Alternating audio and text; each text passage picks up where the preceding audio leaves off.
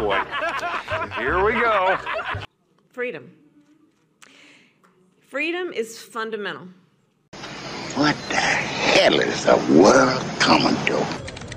Nope. Nope. Oh, Lord! George. To the promise of America. Uh, well, you'd think so, but you'd be wrong. Oh my god. This is not. Oh my god.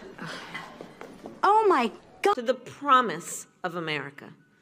Freedom of speech. Fredo hypocrisy. Pot calling the kettle black. so dumb. You are really dumb.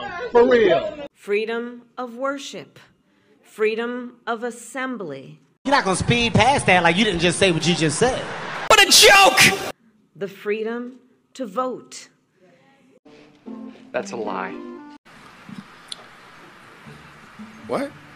In America, freedom is not to be given, Boy. it is not to be bestowed, That doesn't make sense. No, God!